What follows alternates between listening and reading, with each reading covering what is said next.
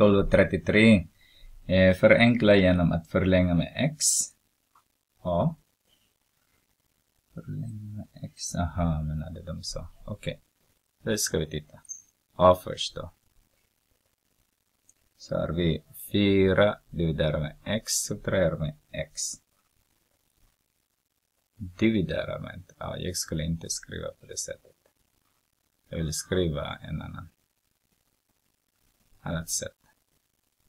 Eh, 4 dividerar med x, separerar med x. Dividerar med, och det här är i parentes nu då, men jag behöver inte sätta in, därför jag har redan skrivit på det här sättet x adderar med 4 dividerar med x adderar med 4. Så. Vi ska förlänga med x säger de. Så gör vi det. Så har vi 4 Subtrahera med x upphöjt till 2 dividerat med x dividerat med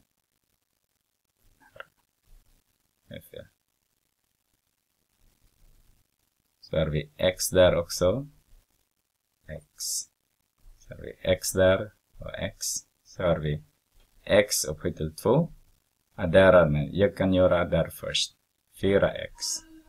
Addera med 4. Hoppas att ni blir inte störd. De, de har lite program där i oasen. Där eh, esteterna skulle företräda. Nej, uppträda, inte företräda, uppträda, förlåt.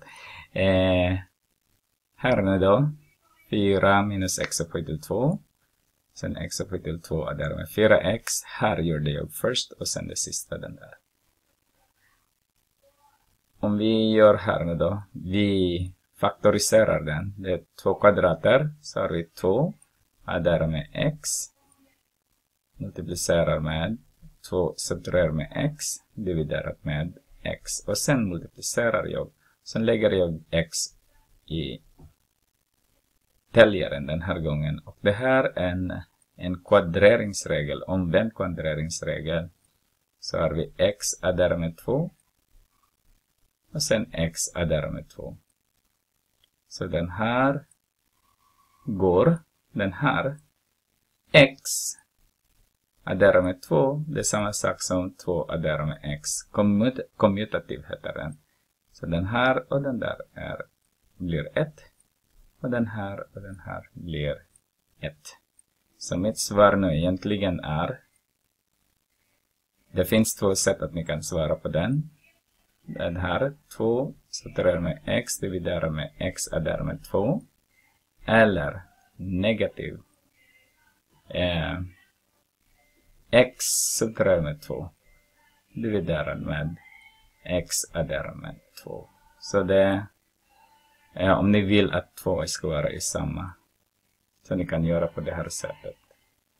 Alltså. Ni har två där, ni har två där också så att det blir lite snyggare.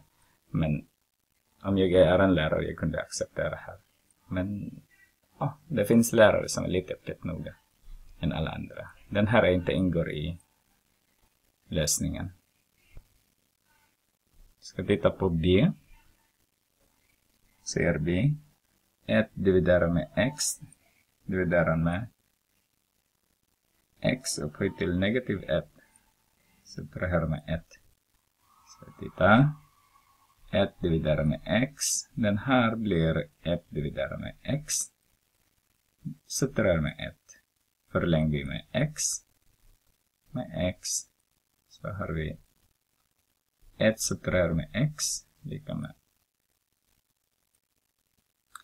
eh, 1 minus x dividerar med x. Så vi gör det så här. 1 subtraherar med x. multiplicerar med x dividerar med. Den här ska vi byta platsen. 1 minus x. Om jag grupperar dem, grupperar dem så har jag multiplikation emellan så det går att den här kan vi dividera så blir det 1 så har vi bara x kvar.